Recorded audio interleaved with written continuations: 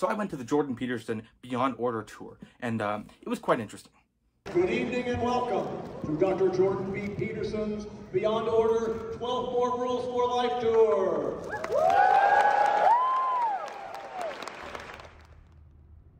I went in Kitchener, um, so it was uh, quite uh, close to actually Toronto where I live. So it wasn't too, too bad to get to. Unfortunately, the Toronto one was sold out.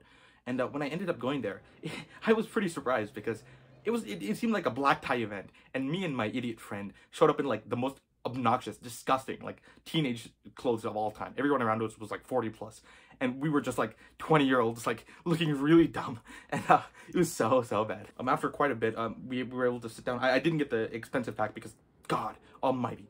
Do you know how much that cost? It was like 500 bucks to meet him, to like shake his hand, whatever. Um, we got like the $100 tickets and we got really up close seats too. I don't know why nobody else picked them. They were very inexpensive and they were right up front. All things considered, I I was quite a fan of this tour. I thought that it was very interesting. I thought that when he came up to the front, uh, I'll be showing you footage soon. When he came up front, he was actually very, very interesting in the questions that he answered. And it, it, was very interesting to see his thought process on many, many things, especially on like very, very modern things like the Ottawa protests and such.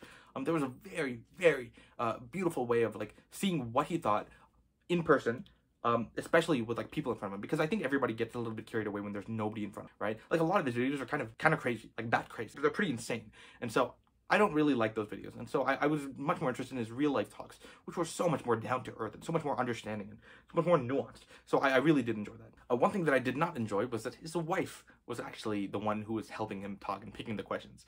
Uh, and that was, that was a bad idea. She's unfortunately like. And now, please welcome tonight's host, Tammy Peterson if she was that good at it, I think she would be known for that at this point. Um, every time I watch an interview with him, with somebody else who's like asking him questions, it's usually a very intellectual person, a much more famous person, a much more smart, smart person, someone with a much, much more interesting opinion on things. Not his wife.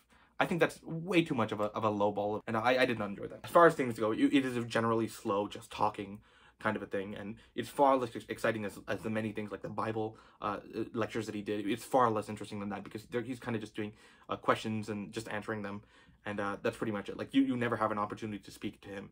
It's just all on the app. So it was a little bit underwhelming for that reason because uh, i guess i expected more from him than i did neil gaiman but it was still uh, very nice. And I, I did enjoy this more than any other in-person event that i've gone to that wasn't comedy. So that that's saying something. Funny thing is it, it did have nothing to do with this book so that was kind of odd it just wasn't worth the effort for me but totally totally fun, especially if you live in the area. If you live in the area, you really don't have any excuse not to come unless you don't like it. What was also fascinating was the line, and there was a protest at the front.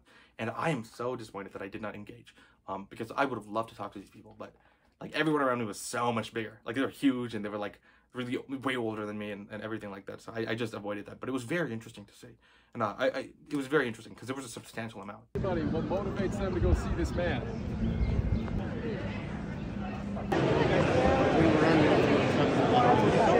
Now, please welcome tonight's host, Tammy Peterson. That's crazy. That's his wife? Yeah.